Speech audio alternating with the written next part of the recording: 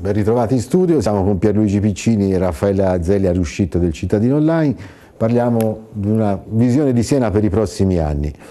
Ora siamo arrivati alla parte, all'ultimo blocco e mi piaceva parlare di, della cultura perché a parte abbiamo finito la seconda parte con quello, ma poi della, diciamo, nella sua eredità che hai lasciato c'è un altro pezzo importante di cui non abbiamo ancora parlato, che è il Santa Maria della Scala, mi ricordo io a quei tempi quando sono letto il progetto del Cestud sull'industrializzazione dei beni culturali.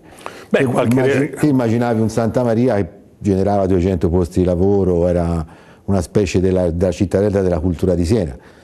Anche qui sono passati vent'anni e siamo sempre lì. Beh, qualche, qualche realtà in provincia c'è che è riuscita a industrializzare i beni culturali o quantomeno si è avvicinata a quel progetto il più possibile. Eh, primo, non c'è un progetto culturale, innanzitutto perché la cultura è vista in funzione del turismo.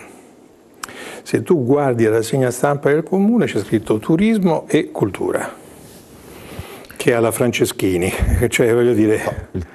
Il turismo si nutre di cultura nella città d'arte. Non tutto il turismo si nutre di cultura e non tutta la cultura si nutre di turismo. Quello è, sono d'accordo. Allora qui bisogna discernere. Una, co una, cosa è il turismo, una cosa è la cultura. Il turismo vedrai quello. Ma non è proprio così, non c'è soltanto il bene culturale, le ecco, due cose... il bene paesaggistico, se non c'è Sì, ma c'è anche l'enogastronomico, ci sono tante cose, c'è il paesaggistico, c'è il... Vuol dire l'enogastronomia non è cultura perché sì, è cultura sicuramente, no. però ho un'altra visione. Purista su questo perché? No, io non voglio fare il purista, figurati, soltanto ho un'altra visione della cultura, di quel progetto, cioè io sono convinto che, avendo lavorato tanti anni in banca, che bisogna misurare la redditività di quello che fai. E nella redditività di una città c'è la redditività sociale. Se il costo è superiore al ricavo, conviene scegliere un'altra strada. Il costo sociale intendo. Il costo sociale più alto del, del, ricavo economico conviene prendere un'altra strada. Oggi, a mio parere, il costo sociale delle operazioni che sono state messe in piedi e il ritorno economico è così basso che conviene cambiare strada perché si stanno scimmiottando situazioni già consolidate che in realtà che stanno cercando di eh, trasformare il loro sistema di modello economico. Tu dici stiamo andando dietro ai, ai, modelli di Venezia e Firenze. Ma perché il privato vuole quello, ma perché il tour operator che è legato al privato vuole quello, perché l'incoming vuole quello, è lì il nodo, è perché tu hai smantellato il tuo sistema di, del, eh, del tuo sistema di riferimento. Il Santa Maria Scala non è che noi ci siamo inventati qualcosa di particolare, era un progetto legato a Brandi e ai grandi storici dell'arte che erano a Siena. Cioè voglio dire che sono stati a Siena, che hanno operato a Siena, cioè quello di farlo un centro interdisciplinare molto forte, non farlo diventare una galleria espositiva a vantaggio delle quantità di biglietti staccati. Non era questo. Siena credo che si meriti di più, anche perché c'è un processo identitario all'interno di questo percorso che io dico. E Siena ha una sua caratteristica particolare che è la formazione. Siena si caratterizza per la formazione. Cioè voglio dire, ci sono percorsi identitari fortissimi nel settore della cultura, che hanno bisogno ancora di essere rappresentati e che per esempio Sacco nel, per il progetto di Siena 2019 non ha minimamente capito. C'è una storia dell'arte identitaria italiana che deve essere ancora scritta nella sua completezza per uscire dal, dall'egemonia di Venezia, di Firenze e di Roma, che è quella dell'Italia centrale, della cultura cortese, che guarda caso nasce proprio a Siena. Sono stati fatti dei, degli interventi episodici, ma non c'è un processo complessivo di identità, di ricerca, di studio, di approfondimento. Qui l'università è stata completamente eh, abbandonata, non è stata neanche consultata su questi processi, nonostante che ci siano storici dell'arte di primissimo livello in questa città e non soltanto all'università. Parli dell'esperienza di Sacco? Io parlo dell'esperienza di Sacco, ma parlo anche di come viene oggi impostato il lavoro al Santa Maria della Scala. Le due cose si, si inseguono, non è che sono cose separate.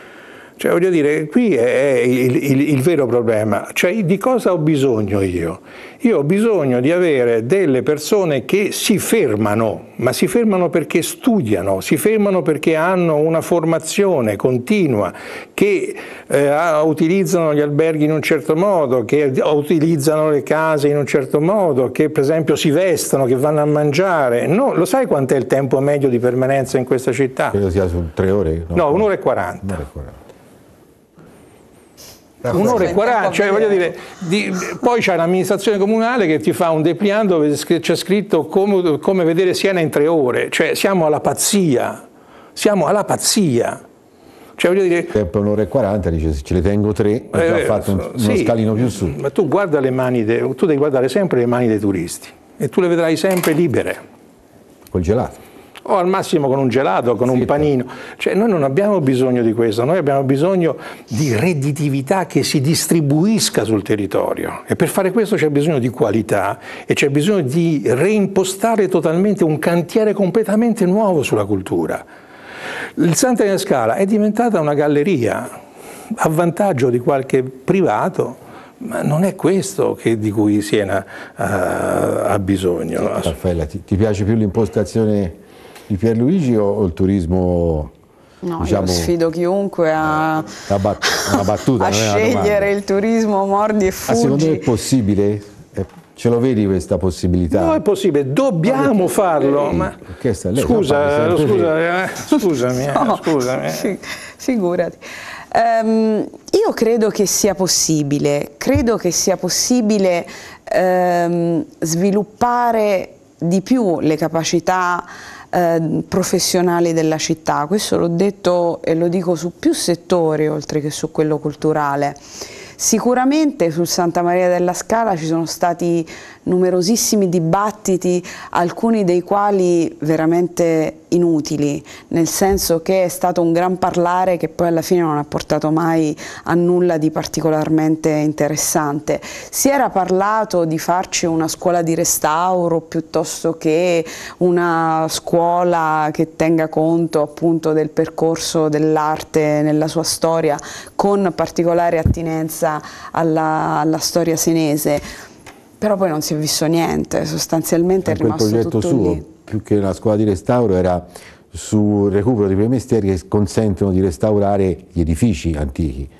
Sì, no, non solo c'erano i laboratori, sì, c'era una parte, era anche questa, sì. Eh beh, eh, quello potrebbe essere estremamente interessante, sicuramente porterebbe a mh, ricostruire tutto ciò che era il Santa Maria della Scala in una visione che io ho sentito da più parti ma che poi non si è realizzata. Sicuramente bisognerebbe staccare Siena dall'esperienza in cui sono incappati e non riescono più a uscire città come Venezia e come Firenze. Io quando studiavo geografia turistica, ai miei tempi si chiamava geografia turistica e non marketing turistico, ti spiegavo l'evoluzione della stazione turistica e descrivere un processo irreversibile che si manifesta appunto quando cominciano a sparire i mestieri artigianali di pregio, per non dire d'arte, e cominciano a comparire le gelaterie, le pizzerie al taglio e il temutissimo Pinocchietto nei negozi. Pinocchietto è considerato il simbolo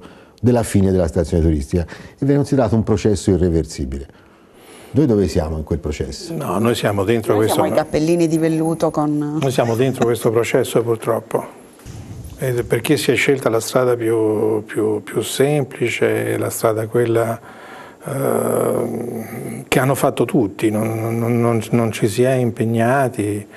E poi soprattutto, vedi, anche qui il rapporto con il privato, andavamo prima, no? in questo caso il privato si chiama Opera Laboratori Fiorentini eh, non è che deve essere un fine, eh, il privato è uno strumento, è uno strumento che tu devi saper utilizzare, ma per saperlo utilizzare in, questo, in questa situazione, in questa realtà, in questa fattispecie, hai bisogno di avere una politica culturale del comune.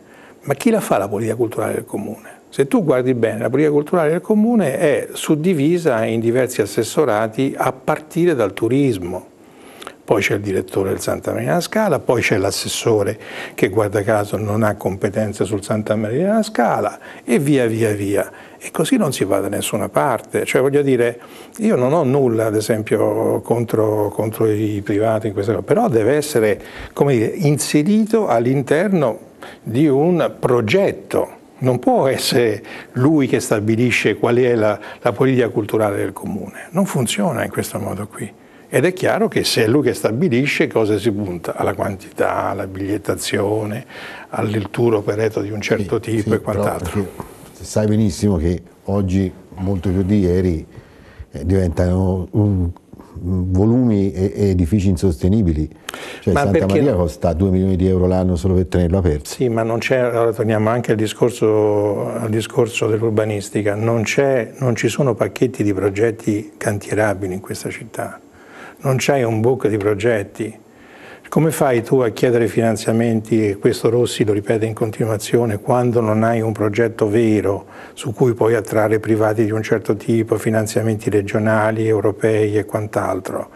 L'urbanistica è la stessa cosa, tu guarda l'esempio dei finanziamenti per le periferie, si è andati a fare piste ciclabili, qualche tubatura, i soldi a taverne, ma non c'erano dei progetti già pronti che potevano essere cantierabili da sottoporre. La prima cosa da fare è di avere un book di progetti, altrimenti come ti muovi? E di avere all'atere di questo soggetti che ti sanno fare le domande a livello europeo. Non è un caso che Siena Jets prende finanziamenti dallo Stato della comunità europea, ma lo prende perché ha trovato le persone che sanno fare i progetti.